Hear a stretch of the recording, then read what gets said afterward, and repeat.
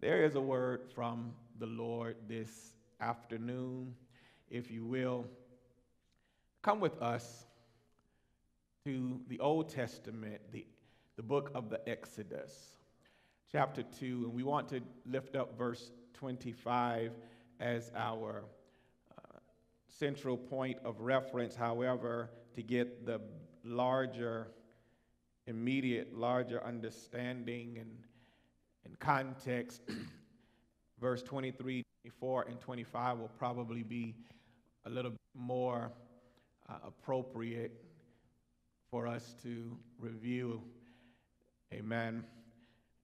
And it's fine, TT, if you don't go back to 23. I know I didn't give that to you, but I'm going to go back to verse number 23 and come to verse number 25 uh, from the ESV. I'm just going to read from the ESV uh, the context. It says, During those many days, the king of Egypt died, and the people of Israel groaned because of their slavery and cried out for help.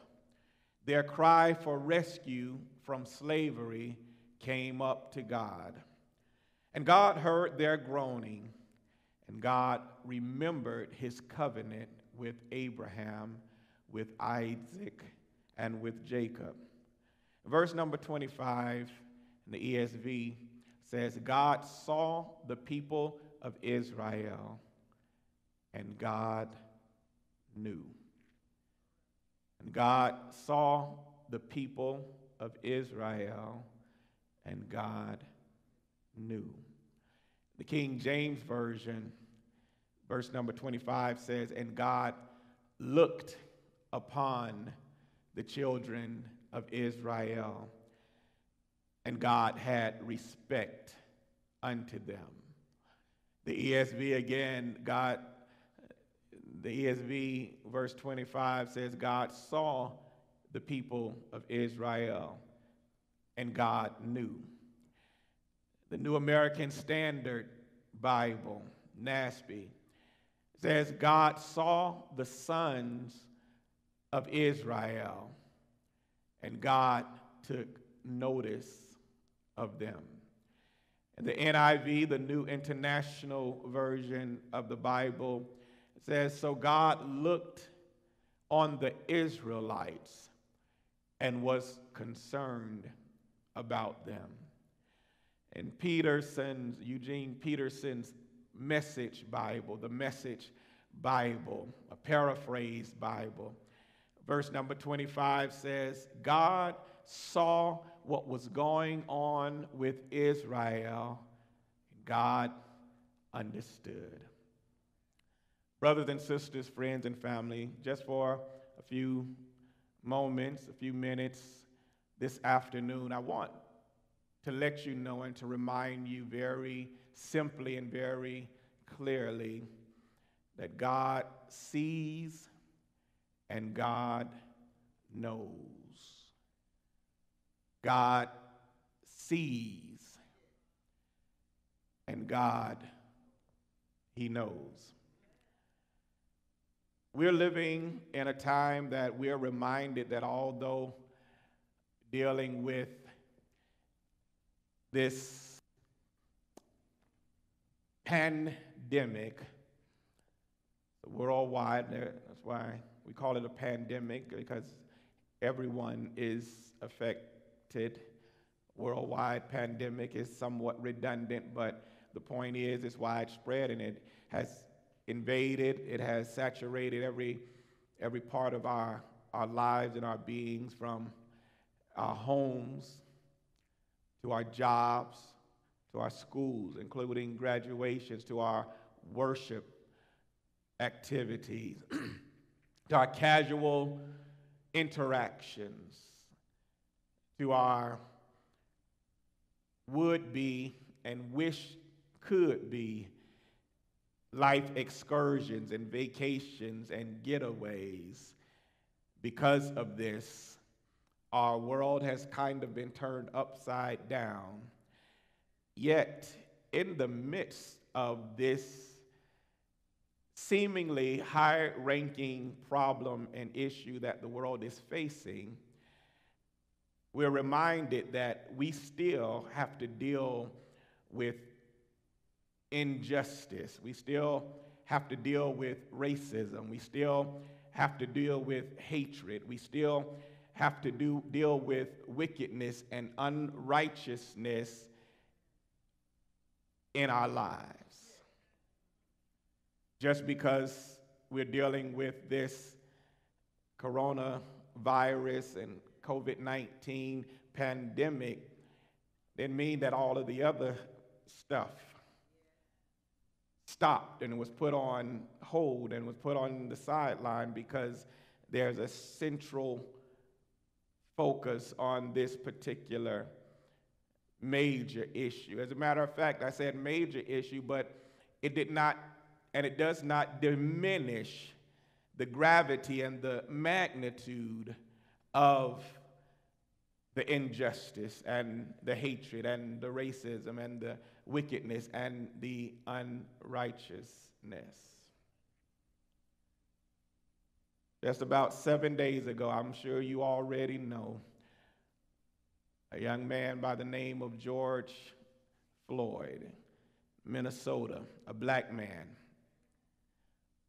was pinned down, handcuffed by a white police officer who proceeded to hold his knee to this handcuffed black man his neck as Mr. Floyd, Brother Floyd, repeatedly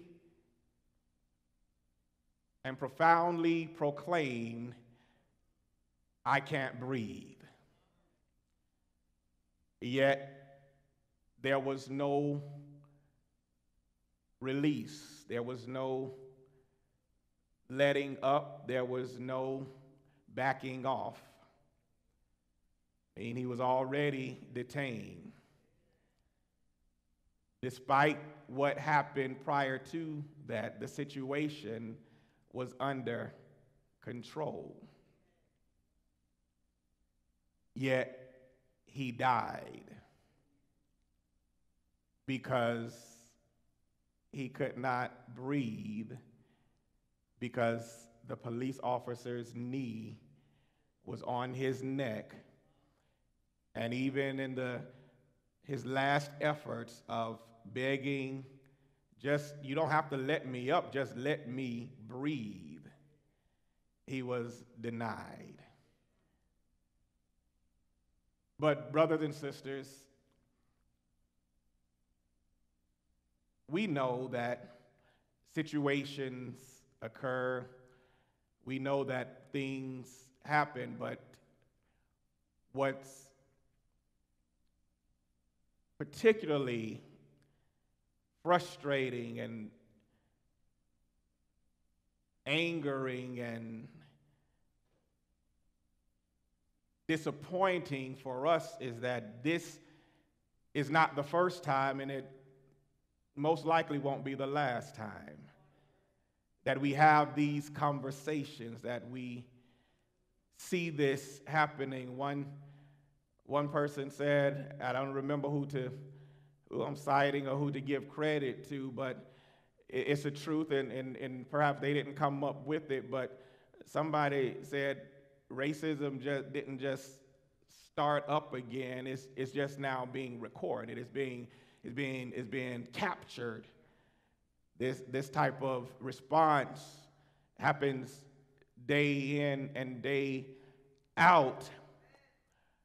But not very long ago, a young man in, in Georgia, Ahmaud Arbery, we heard a similar resolve to his situation. It didn't involve a police officer, but it involved two white men, this black man, Mr. Arbery, who was out for a run or a jog or whatever he was doing, and because they wanted to make a citizen's arrest, they felt it was their civic duty to apprehend, and I don't know what their aim was, what their objective was, but we know that it ended in him being shot to death by these two men, Father and the Son. And the sad thing, the even further stressful and frustrating thing is that we think back just a little ways in, in names like Breonna Taylor and Sandra Bland and Philando Castile and Eric Garner and Trayvon Martin. Because there's a cycle, because this keeps happening over and over and over again, we find ourselves, and I know some of you are saying, well, are you going to talk about the text? You know, I'm not a preacher that is going to just talk about current events and not preach the word of God. So, what we find, well, we find ourselves, brothers and sisters, whether you want to believe it or admit it or not, or others want to believe or admit it or not, we are just like the children of Israel. We are in a state of oppression. And here's the problem and our premise that is derived from this text. I lifted up chapter 2 and verses 23 through 25, but you really got to go back to uh, chapter 1 and bring it all the way up there to get the entire and the full picture. But the fact of the matter is here's our problem the problem and our premise is that there is, watch this, a targeted, that means it's directed. It's not, it's not, it's not, it's not just thrown in the wind. It's not just let it fall where it may, but it is a targeted, a specific ongoing, meaning that it is not something that is a rare occurrence, but it's something that happens continuously and regularly enough to be classified as ongoing, systemic, systemic and systematic. Systemic meaning that it has invaded and pervaded and, and engulfed the entire system, meaning our culture is, is, is, is, is, is, is invaded and is saturated by this problem and this, this, this local pandemic that we've been dealing with as people of ebony hue, as people of color in this particular country, a targeted, ongoing, systemic, meaning it affects, it's, it's in the entire system, but also systematic, which means it's not, it's organized. It's, and, and I know that you may say, well, this ain't organized. No, this is it's, it's, it's embedded in our working, and it has to be because it grew out of the foundations of our country, which was built on the back of slaves. It is something that whether, whether individuals realize it or not, they're brought into a mindset that perpetuates this problem that we see here. So then it is systemic and it is systematic. Oppression. Let me tell you, oppression not exist except the oppressor is the one with the power and with the authority and subdues the oppressed. See, if Debo, when Debo, when Debo comes on your street and, and takes your chain and takes your bicycle, he has the he has the, the power in that situation and he oppresses, uh-huh, he oppresses the ones who who are under that, that pressure. Smoking them, y'all know. And so there's a targeted, ongoing, systemic, and systematic oppression of a particular group of people. It's a particular group of people because it doesn't impact every group of people. As a matter of fact, there's a difference in and the response and these same illustrations that we gave, if they were played out, if these individuals, these black men and black women, if their, the color of their skin were different in those situations, the outcomes would have likely been different. There's no question about it. This is not debatable. This is facts, as, as our young people say these days, facts. And the problem, here's, here's, here's what's, what's the main issue for us. There appears to be no end of this insight. That's, that is where the depth of the problem lies. There's a targeted, ongoing, systemic and systematic oppression of a particular group of people, and there appears to be no end in sight. That is what the children of Israel were facing. If you think about it, while they were in bondage in Egypt, 400 years, I mean, that's a long time to wake up every morning. And even though it seems like things got better yesterday, your oppressor reminded you ain't nothing changed. I know I said that grammatically incorrect, but nothing has changed. Seems like you take one step forward, but the oppressor is going to demonstrate that no, no, don't get too uppity because you you're not you're not there. As a matter of fact, you're not there, meaning you're not here. And I know, and trust me, I, I, I'm, I'm kind of painting this with a broad uh, brushstroke. I know that not everybody, not every white person, not every black person is guilty of, of, of, of, of the things that we've seen, but it's widespread enough that somebody ought to be paying attention. Somebody ought to sit up and say that there has to be a change. But just like the children of Israel, when you, when you see this is going on and on every time you, it seems like you, you, you're able to take a breath, no pun intended, you see the same thing happening again, and you don't want to become callous and numb to it every time. As a matter of fact, I can tell you right now, it's a redundancy.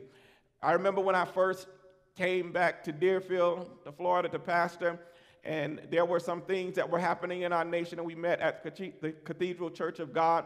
And it was a, a, ta- a community town hall meeting. We had the uh, city officials, had the um, sheriff's office there, had the, the, the clergy was there, the people were there. I remember the conversation very well.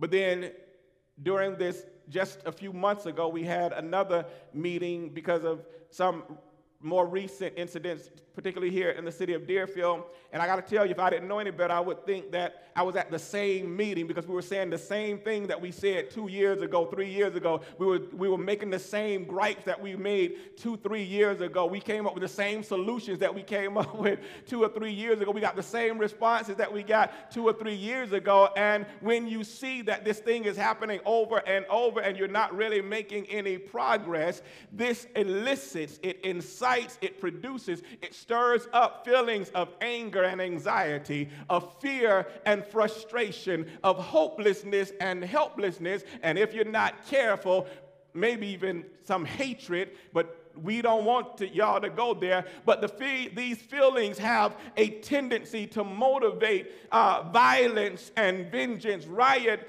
and revolution. And so, is there an answer for us? Well, here's the thing, brothers and sisters.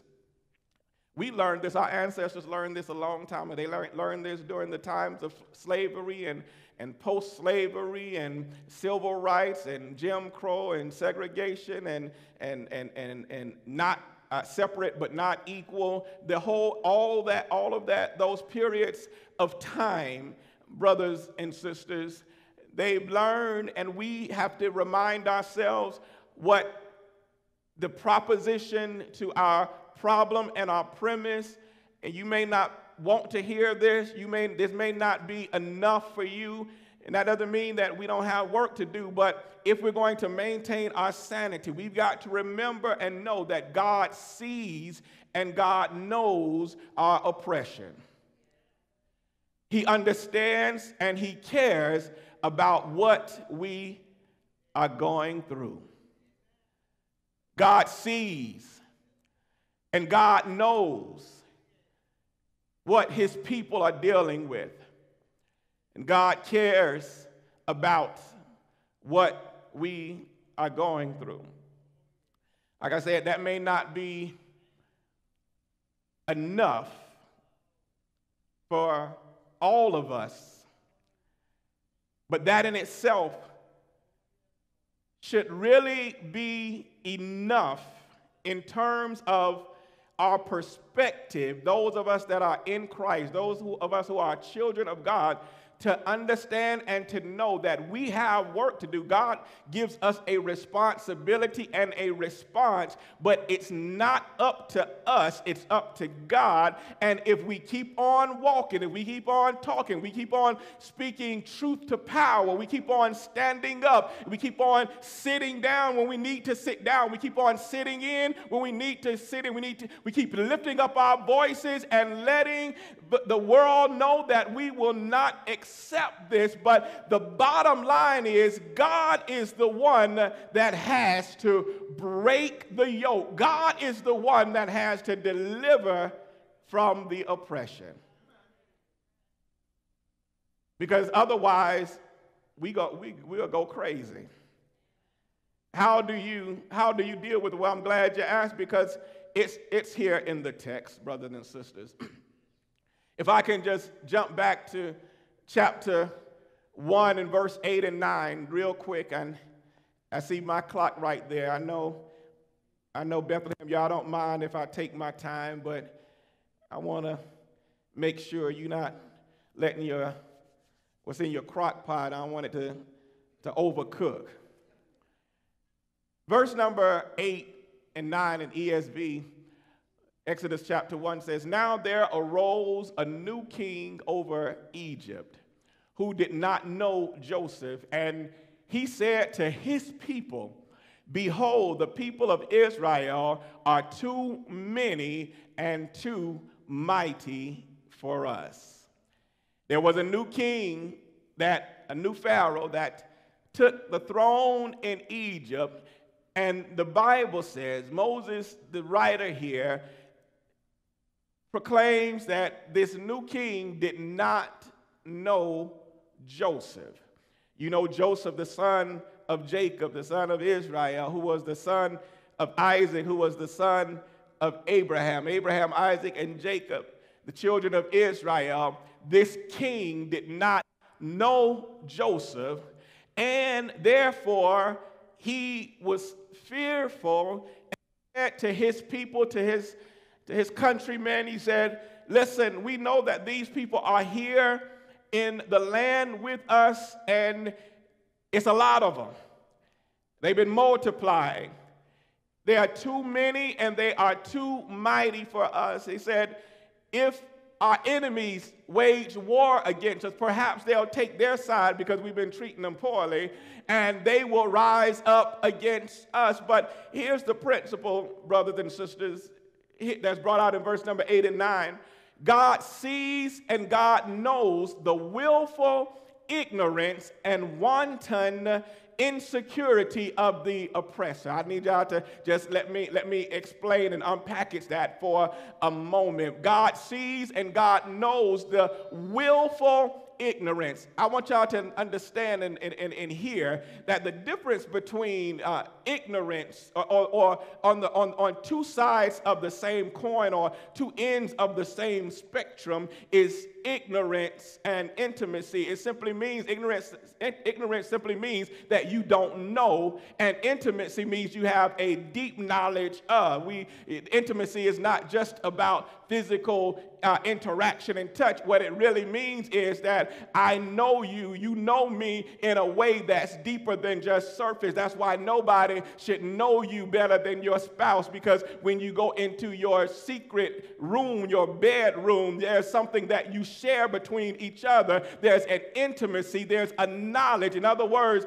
my, my wife should be able to see some birthmarks and some scars. She knows me intimate, more intimately than anybody else should. Y'all feeling me? Y'all hear me? So when there is when there is a deep knowledge, there is an intimacy. But when there is no knowledge, when there is a, a, a lack of knowledge, there is ignorance, and there is the willful ignorance of the oppressor. Because he said the Bible says that this new king did not know Joseph. How do you not know Joseph? Joseph was the one who saved the world from famine. Joseph was the one that was only second to the king, to the Pharaoh.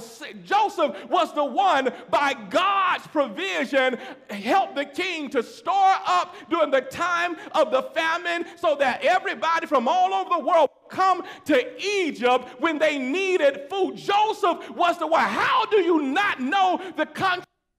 Of those that you are oppressing. How do you not know what our culture has given to this? And how do you not know what our the, the backs of our ancestors has built in this country? Because you don't want to know, you just it's willful ignorance, and not really, not really, really ignorance, but just not an acknowledgement that you need me just as much as I need you.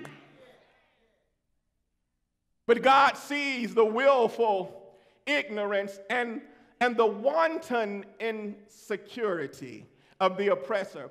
In verse number nine, he says to his people, he says, There is too many of them, and they're too mighty for us. Wanton means unprovoked. You really don't have a, your fear, there's an insecurity, there's a fear that's not warranted. There's a fear that, that came out of and that was birthed out of not of an act against you, but watch this. Really, it comes out of a guilt about the way you treated them. So you're afraid because they've grown in number that they're going to retaliate, but it's a wanton insecurity because they never lifted a finger against you. That's what I'm talking about the children of Israel. They never rose. You know why? Because they were living the good life. Jo- the descendants of Joseph, the children of Israel, were living in Egypt because their forefathers saved the world, saved Egypt from utter destruction, and as a reward, as a consequence to that, that, that, that heroic action, the children of Israel was living in the same land, but the, the Egyptians didn't like. There was still a hatred, there was still a division, there was still a deep running animosity toward them, and therefore there was a wanton insecurity insecurity because I don't like you, therefore I'm afraid of you. I don't like you, therefore I feel like I've got to get you before you get me. I'm afraid of you, therefore I've got to pull my, my arm, my, my, my, my gun, and shoot you and make sure that you are disabled, even reaching for anything, even though it was just your cell phone in your hand, even though your hands were up, even though you were trying to, you were begging to breathe, but because you are a threat, it's a wanton insecurity. But I know not everybody is ready for this. I know, but, but this, this is, this is the, in the text today. And here's the thing, brothers and sisters. I said, there's, there, there's an ignorance there. And this reminds me, and, and, and it's not always, I, I must admit, it's not always obvious. It's not always, I, I, look, I have, I know this, this is all, always the wrong thing to say, but you know, I'm, I'm friends. I, I, there's a lot of white people that I'm I'm real close with. I love, oh, I love all of them. But there are, there are some that I know, I know walk in righteousness, right? There's no question about it. So not everybody, not everybody is, is guilty. And, and there, there, look, there are some of us that, that, that, that, that are just as hateful, just as wrong, just as destructive as they are. So this, this, this, there's enough to go around to everybody, but, but this is something specific. And I know that the ignorance is not always obvious to them. I believe that, I honestly believe that not, not everyone, but because it's systemic and systematic, sometimes you, you, you find your, yourself in it and you don't even realize it. I was speaking to a, a, a a young woman, a white woman, um, right during the time that we had our last uh, Worship Without Walls um, evangelistic tent revival uh, event. And I met her, and I had a, a long conversation with her because, and, and I believe her to be a true follower of the way, a believer, a Christian, if you will. And we were in, a, in the course of our, during the course of our conversation, we were talking about a whole lot of different things. But the, the, the, the, the conversation, in the, in the midst of the conversation, we brought up the concept of white privilege. And she proudly um, shared with me, she said someone, you know, accused her of having white privilege, and, and we talking about a, a, a Caucasian, um, literally blonde hair, blue eyed lady. And she said, I don't, under, I don't understand how could I have white privilege when, I mean, I grew up, I didn't have a whole, we didn't have a whole lot of money. We didn't have a whole lot of resources. My, my dad, you know, my parents, they weren't, they weren't, you know, wealthy. I didn't grow up with a silver spoon in my mouth. She, she told me about her story and her upbringing, and, and she lived in different countries and things like that. Um, but, and, and, and, it was a modest upbringing. And I had to share with her, I said, I, I said, it, it's not about what you had, it's the fact that by the mere complexion and the color of your skin, you automatically get the benefit of the doubt. That, that's what white privilege is, that even before you open your mouth, you already in the plus column just because of how you look. By definition, you have inherent advantages that's possessed by you simply because of the color of your skin and based on your race, because we're in a society that's characterized by racial classification and inequality and injustice. That's just the reality. I mean, if anybody is arguing that point, then we can't, we can't even have a conversation because if you're denying that it exists, then you, you I mean, just turn on the news, just look at the, the news, then, then you're in denial. But the white privilege, it's not about what your mindset is. The white privilege is the fact that you can enter a store and it's assumed that you have the means to pay for any merchant, merchandise, but not only that you have the means, but that you will pay for it. When I walk into a store, I'm going to be clocked by the security. I know y'all don't want to hear this, but it's the reality. It means that when you go in for a job interview, it is assumed that you possess the basic qualifications for the job. I know that I have to work twice as hard. I've got to speak twice as well. I got to make sure I conjugate my verbs correctly. I got to make sure that my nouns and my, my pronouns and my verbs agree, that my, my, my, my, my, my subject and my, my predicate, that it agrees. I'm going to have to make sure that I say the right thing, that I look the right part. Before, when I go into a job interview, when you go to get pulled for a traffic violation, it is assumed that you are not a threat. I have to keep in my mind where are my hands at all times. What am I doing? I don't want to move too fast. I don't want to move too slow. I don't want to say the wrong thing. I don't want to I don't want to say the right thing in the wrong way. See, that is what the white privilege is, that you don't have to think about all that stuff. Because it's a it's a willful ignorance. And I say willful simply because when you know that there's this issue you got to just open your eyes. That's what we're talking about being woke. When, when our young people say you got to be woke, that means you can't, just, you can't go through life pretending that what you see, what, what, what's happening around you, is a dream that is not reality. But let me, let me finish this up, brothers and sisters.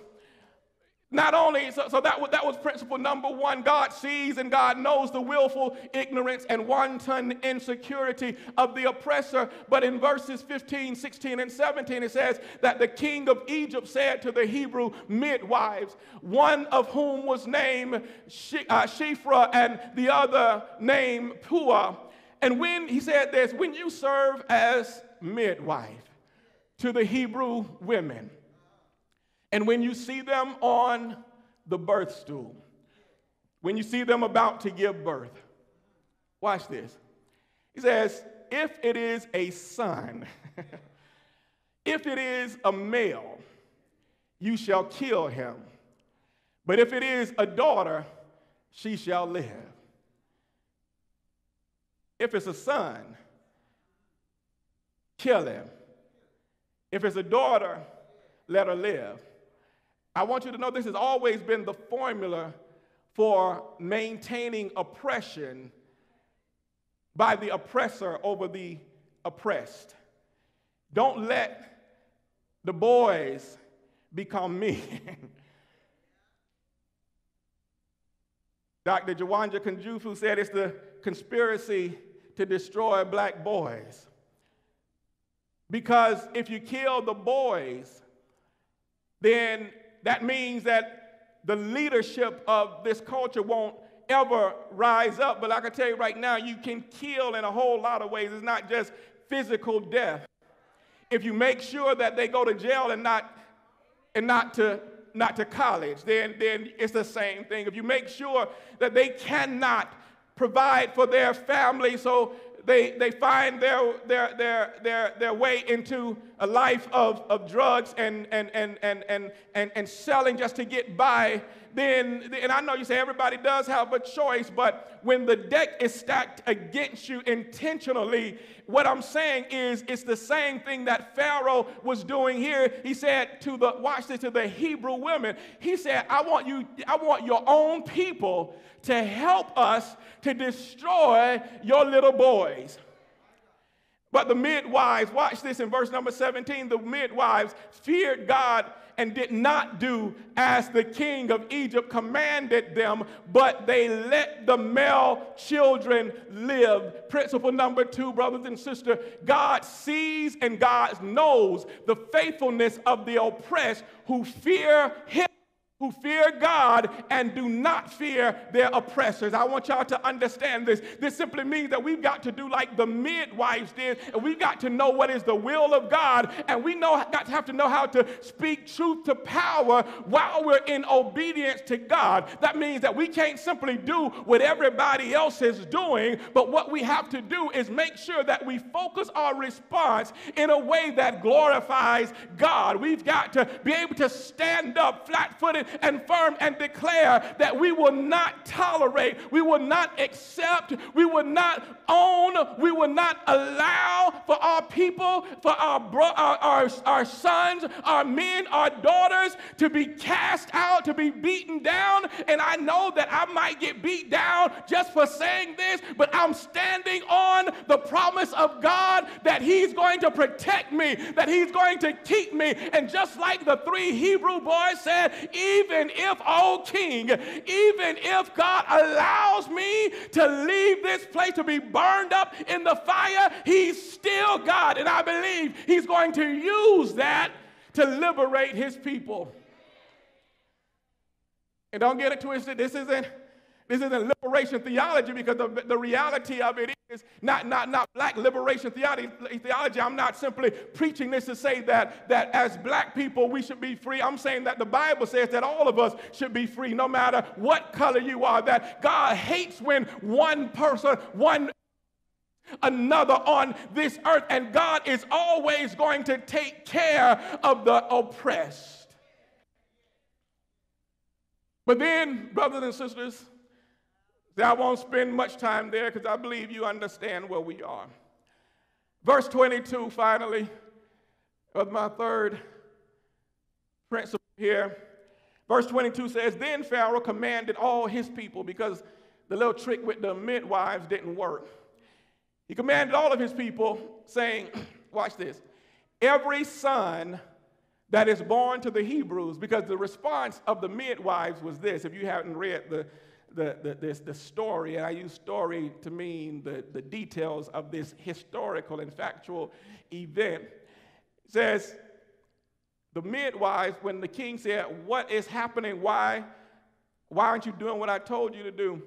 And even though they let the, the male children live, what they said is they, they told the truth. And that's why I said we got to speak truth to power because it came from God. And the Bible says because they did this, God treated them well. God, God blessed them with families. And, and, and what their response was, they said, when we go into the Hebrew women, see, they said the Hebrew women aren't like y'all Egyptian women. Said, y'all, y'all soft. The, the Egyptian women are soft, but the Hebrew women are strong women. Don't that sound like some women that y'all know that's been through something? Amen. He said, and they, when they go to their birthing stools, before we get there, they've already delivered the babies because their bodies are in tip top shape and they didn't need us. They, they took care of themselves. And by the time we got there, they've already delivered. And the Bible says because they, they gave that response, then verse 22 Pharaoh commanded all his people, and he said, Every son that is born to the Hebrews, he says, Now I want you, think about this. He's giving license to the masses, he says, every male, every son, male child, son that is born to the Hebrews, you shall cast into the Nile, but you shall let every daughter live. Doesn't that sound familiar? That there's been an indirect authorization to see Brother Arbery running and to chase after him and gun him down in the name of justice. Y'all missed that. The king, the Pharaoh, is saying, I'm not just giving the order from my throne. I'm telling, it's not just my, my soldiers and my men that's carrying out this order. I want all of the people that believe in me, that's with me, that, that, that follow after me to handle this situation for us. The Hebrew midwives would not do the deed, so I want the, I, want the citizens, I'm deputizing you to get out there and get those male Hebrew babies and throw them into the Nile. This is principle number three. Y'all, y'all, y'all look shocked. Y'all, y'all don't understand. God, this ain't nothing new under the sun.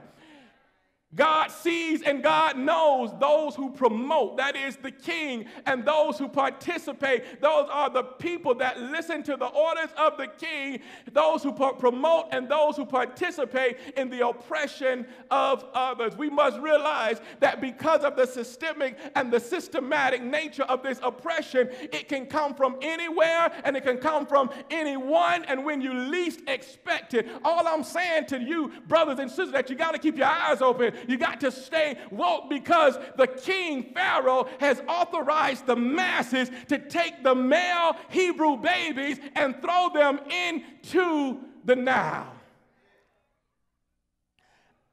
I'm going to leave that alone. Let me just give you the personal practice and progress because this comes when we return to verses 23 through 25. God allowed the children of Israel to have to deal with this issue for a long, long time. But God never failed to see them. God never failed to know their plight and their condition. So during those many days, many days, many days, the king of Egypt died. That simply means that as bad as it looks, this won't last always. And the people of Israel groaned because of their slavery, because of their oppression, and they cried out for help. And their cry for rescue from this oppression, from slavery, it went up to God, the Bible says. And verse 24 says, And God heard their groaning, and God remembered his covenant with Abraham and with Isaac and with Jacob. God saw the people of Israel. God knew, God cared, God understood, and God answered us. Here's, here's our personal progress and practice. We've got to not just cognitively know, we've got to know in our hearts and in our spirits that God will deliver us. You've got to keep lifting your voice and trusting in God. Because there has never, that was my practice and my progress. God will deliver us. Thank you. You got to just keep lifting your voice and keep trusting in God because there has never been one single time when the oppressed liberated and delivered themselves from oppression. You may not believe that because the history books won't always show you what the reality behind the surface, but it has always been the hand of God. God raised up and called Moses to deliver his people. God is the one who sent Moses to Pharaoh. It was God who opened up the Red Sea. It was God who closed it back up and drowned all of Pharaoh's army. Justice uh, is birthed out of righteousness. Uh, if there is no righteousness, uh, there can be no justice. The only way, the only way that people of color, that black and brown people, people of ebony hue are going to be justified uh, by the system uh, is for righteousness to run down, uh, for righteousness to rain down, for righteousness to impede Uh, and invade uh, and pervade the hearts of men. Have I got a witness in here?